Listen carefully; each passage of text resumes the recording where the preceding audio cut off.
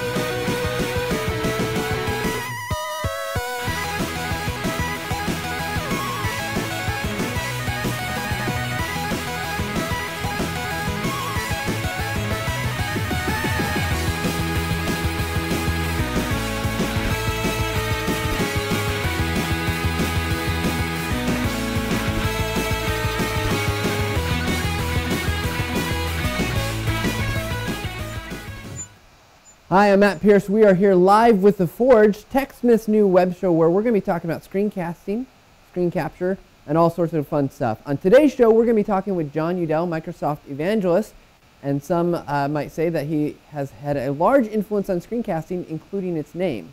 We're also going to be reviewing the Blue Yeti microphone, telling you how that works with screencasting. And I'm going to be talking with the fantastic Betsy Weber, Chief Evangelist for TechSmith Corporation, about some cool things that she's seen and noticed with screencasts that are out there in the wild. So let's get started, and we're going to be uh, talking with Jon Udell.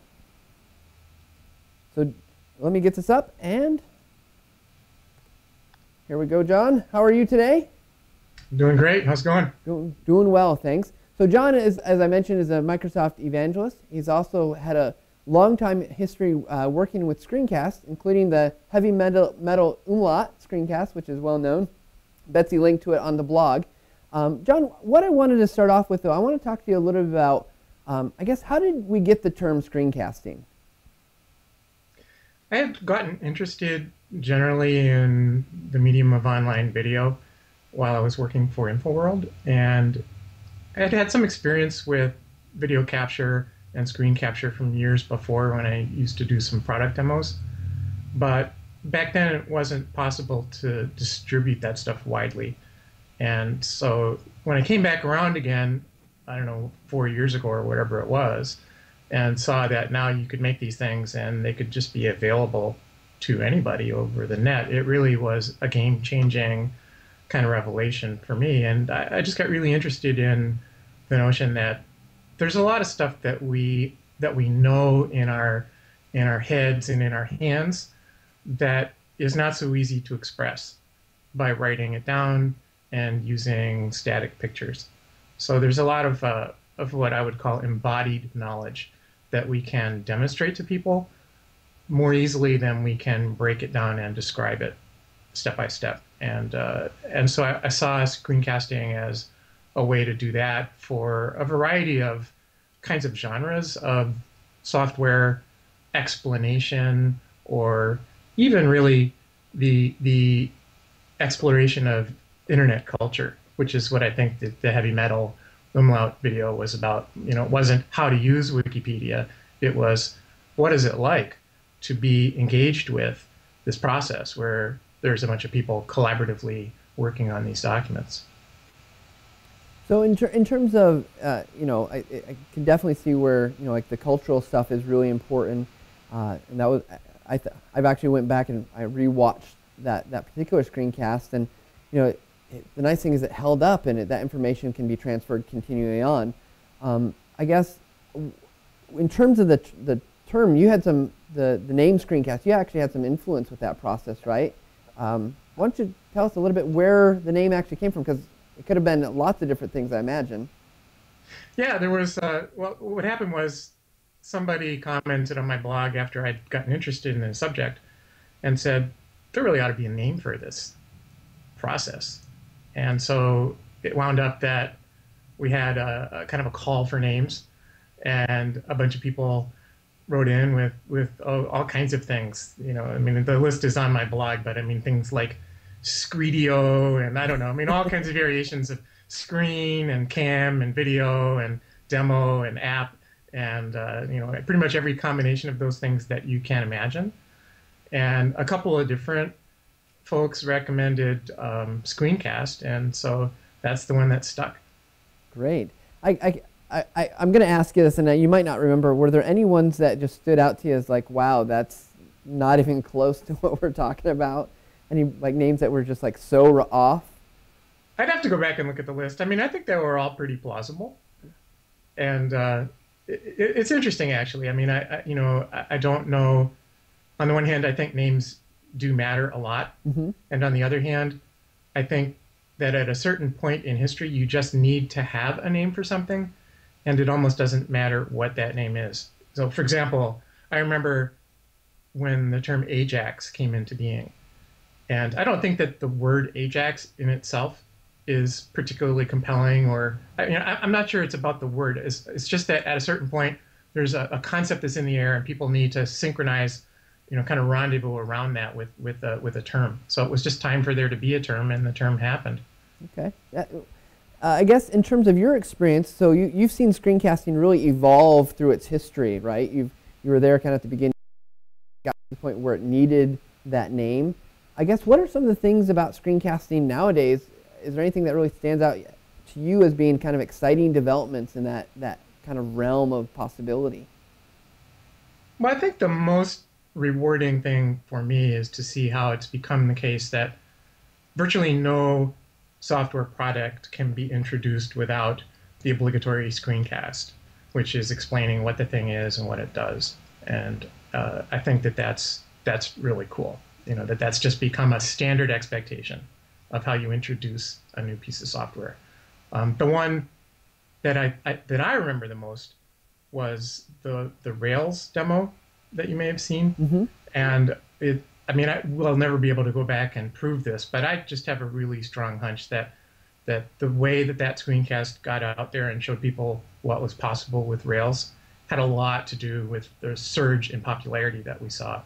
And you know, if it hadn't been possible to encapsulate that experience and show it in that way, it would have been harder for for that to happen. Yeah, it definitely seems like screencasting has had a, a, an influence on, uh, especially software development.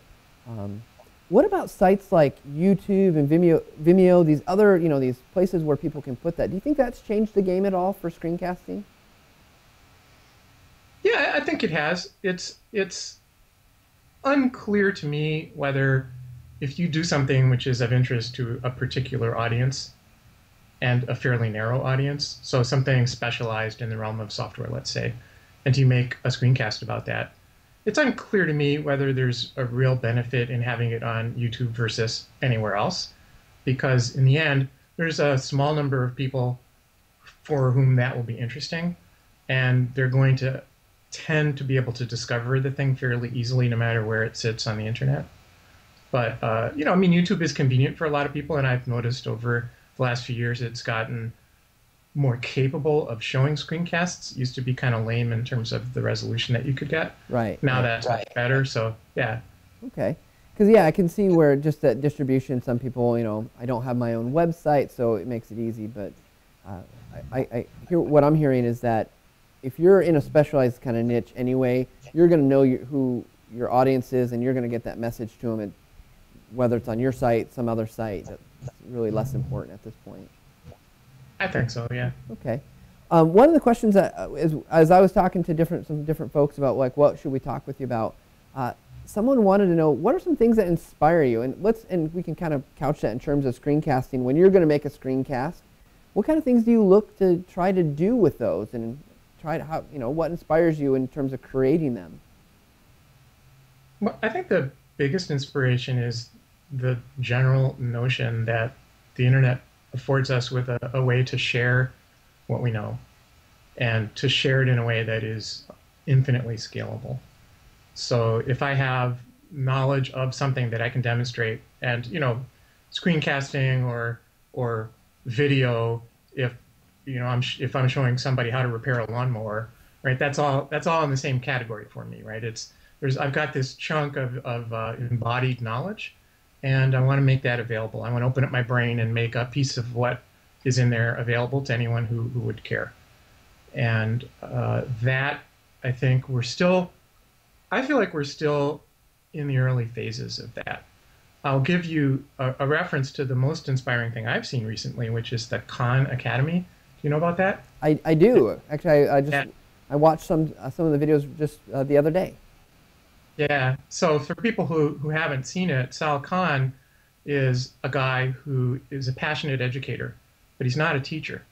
He makes math screencasts, um, which are tutorial in nature, and has now accumulated, I don't know, 1,500 of them at Khan Academy, which happens to be hosted on YouTube, but that's neither here nor there.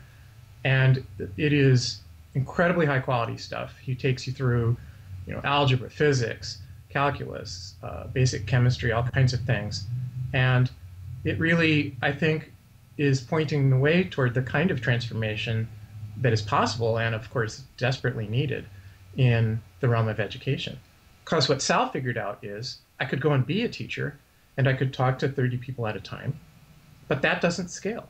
Mm-hmm. On the other hand, if I do this process, right, I can I can capture the best of what I'm capable of, and it can scale out to hundreds of thousands of students, which is in fact what's happening in his case. So I, I'm I'm so impressed by that. Yeah, so definitely the, the scalability of screencast is greater than that one to one, and uh, that's a for, I think that's a really powerful powerful concept. So Jon, I appreciate your time. We're actually uh, running out of time here, so. Uh, any last words you want to share with anyone that's uh, trying to get into screencasting or trying to do more with screencasting? Yeah, I guess I'd I'd offer this observation, which is that we have a tendency in the tech world to do things because we can. So now we can do screencasts, and so a lot of the times we do them, maybe a little bit gratuitously. So I would I would invite people to focus on doing the things where the medium of screencasting really adds value, and that's not always the case. So you know, just because you've used the medium doesn't mean that you've used it to its best ability. So, you know, I would invite people to think broadly when you're trying to communicate stuff about having a portfolio of methods. And those methods still include text and they still include static images and they still include, you know, conventional documentation. Um, but they can be augmented now with this other medium. And I think that the best thing is to use all of those things in the appropriate ways and combine them in a, in a fluent way. Well, great. We well, we appreciate your time and appreciate that advice because as someone who does uh, technical communication at times, I, I, agree that there's a lot of different tools in your tool chest. So, uh, again, thank you for your time, Jon. We want to thank have everyone. You know, if you get a chance to go check out some of Jon's stuff that he's doing, it's there's some great stuff out there. Maybe can go check out the old list of names that uh, screencasting beat out. So, thanks for your time, Jon. Sure. Thanks. So now, coming up next, what we're going to do is we're going to be talking about the Blue Yeti microphone. Chris McQueen, who is not here, he's actually out on a bike riding across the state of Michigan. He's going to walk us through some of the things that we can do with it. But before that, we're going to take a quick break.